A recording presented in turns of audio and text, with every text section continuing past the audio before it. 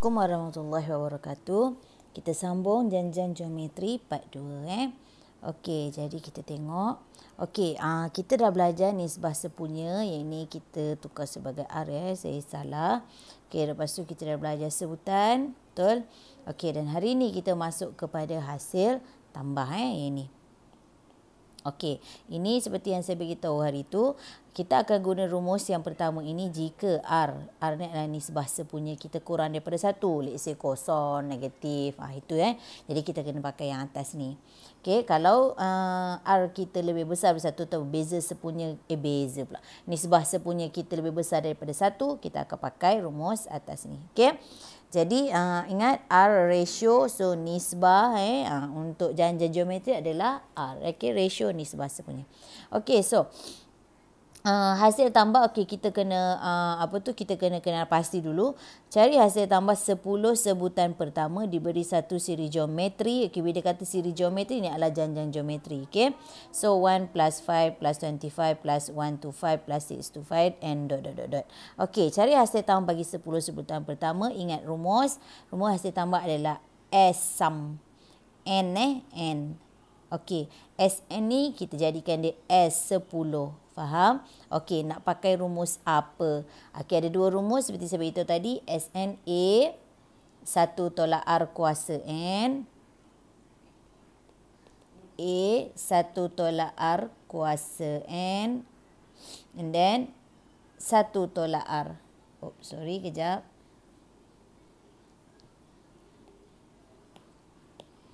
Kuasa N and then bawah ni satu tolak R ambil balik lah. Okay, ada lagi satu yang ini untuk uh, R lebih kecil daripada apa? Satu. Ada lagi satu iaitu A sat, R tolak satu. Eh, dia terbalik macam ni nampak? Okay. R kuasa N tolak 1 per dengan R tolak 1. Ni kalau R lebih besar daripada 1. Okey, so kita cari dulu uh, R dia dulu.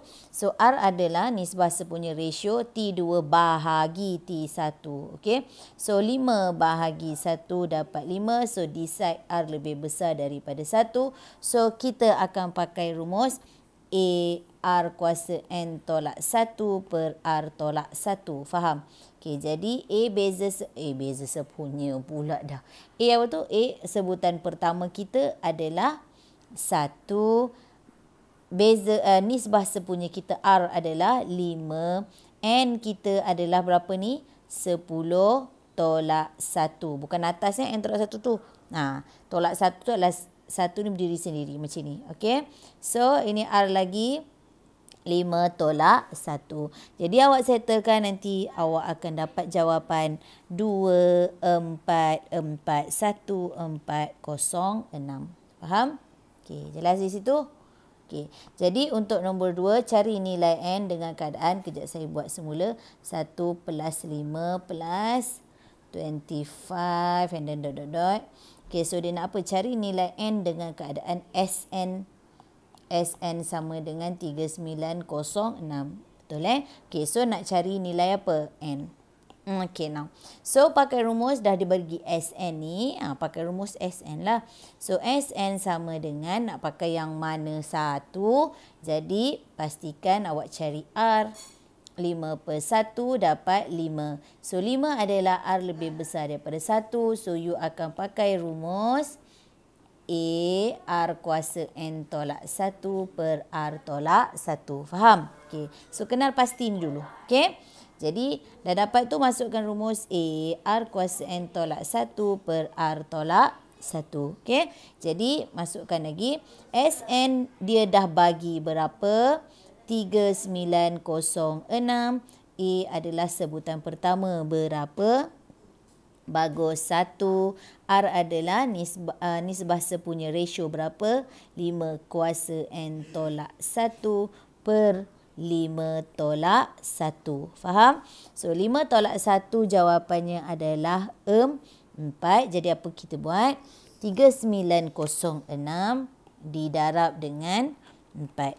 Okay. So, you akan dapat satu, lima, enam, dua, empat sama dengan ini semua kau darab satu dapat balik. Betul? So, ini you tambah satu bawa ke sana. So awak akan dapat 15, 6, 2, 5 sama dengan 5 kuasa N. Faham? Okey. Sampai sini kita boleh samakan apa? Penye, eh, penyebut pula. Samakan asas ataupun yang paling senang. Kalau samakan asas kan pening eh. Macam 5 kuasa berapa yang 5 kuasa berapa betul nak test kan. Okey. Tak payah pakai log je. Pakai log 10. Okey. Ataupun, ha, ada banyak ni, banyak cara. Ataupun tukarkan, kita dah belajar indeks kepada log. Boleh juga. Okey, so macam mana tukarkan indeks kepada log? Ingat ni. Okey. Asas kat bawah log 5 15625 sama dengan n. Ha dah n dekat sini lagi senang. Faham? So pakai je kalkulator. So nanti awak akan dapat enam. Okey. Macam nak pakai kalkulator ni?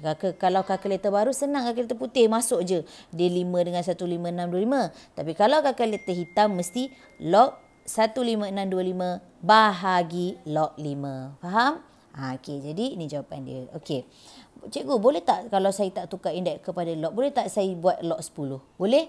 Kalau awak nak jadikan log 10 15625, belah sana pun mesti log 10 5n. Faham? So, jadi N bawa ke depan. N betul tak? Log 10, 5. Log 10, 1, 5, 6, 2, 5. So, boleh cari N. Ni kan darab. Bawa sana jadi. Log 10, 1, 5, 6, 2, 5. Bahagi dengan log 10, 5. Nanti awak akan dapat jawapan yang sama. Betul tak? Ha, sama juga macam ni. Ini kan kalau kita pakai kalkulator hitam kan. Log 1, 5, 6, 2, 5 bahagi log 5. Ha, sama kan?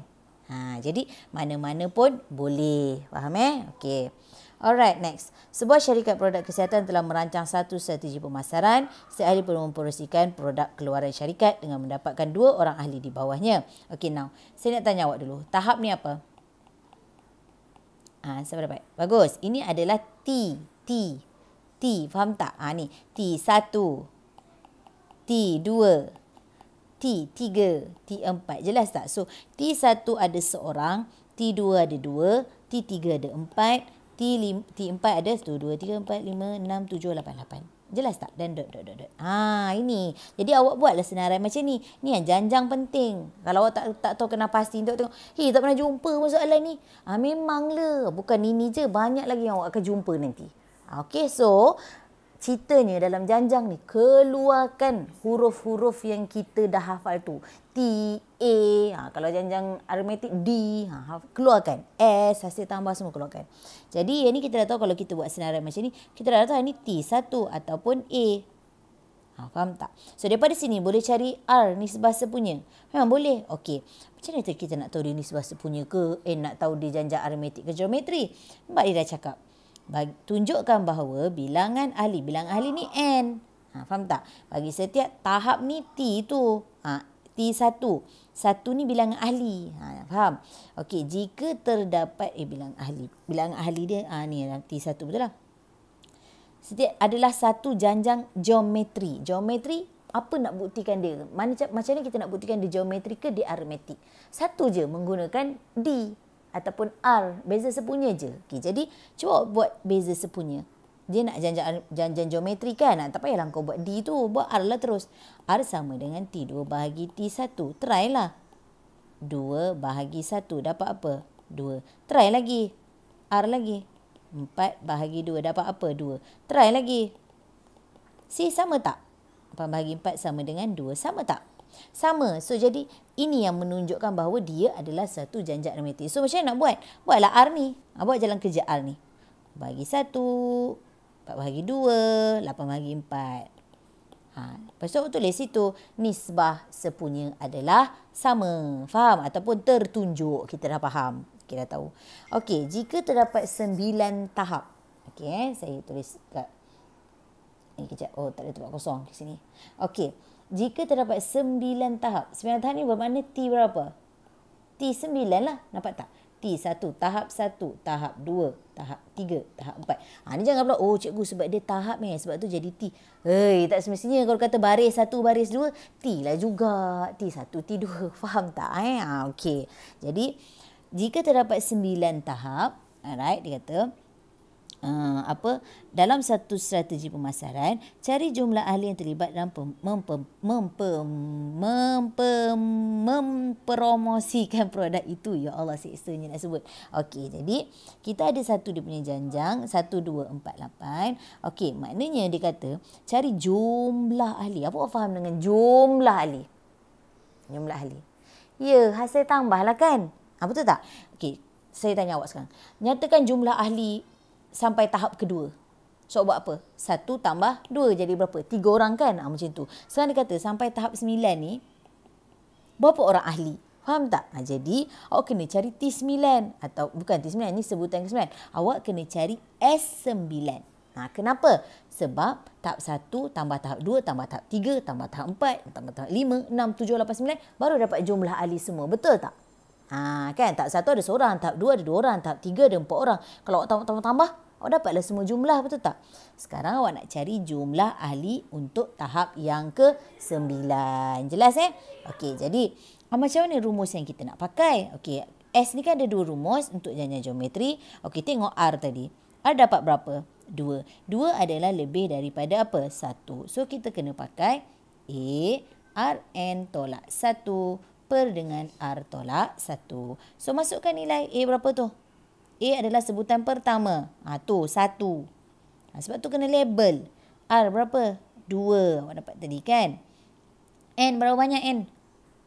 Ha, pandai pun 9. Kenapa awak tahu dia 9? Sebab sini 9. Kan sini kan SN. Jadi N ni tukarlah. Kalau N sini 9, ini pun mesti 9. Faham tak? Ha, dia follow je. Okey, per. R tadi berapa tadi? 2 tolak satu. So kira-kira kira tak tak tak, tak pakai kalkulator dapatlah 511. So jumlah ahli eh daripada tahap 1 sampai tahap 9 oh, tambah tambah tambah semua 511 beranak-anak ahli dia. Faham tak? Ha, itu bila kita baca soalan pastikan awak kaitkan dengan huruf keluarkan. Kalau baca je memang pening. Ha, jumlah ali apa ni? Ya Allah tak belajar pun yang kita belajar huruf S T.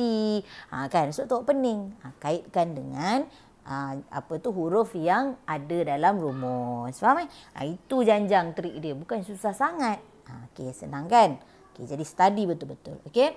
So macam biasa, silalah buat latihan. Ha, aplikasikan, aplikasikan. Okey? Okey, bye. Nanti kita jumpa lagi yang seterusnya.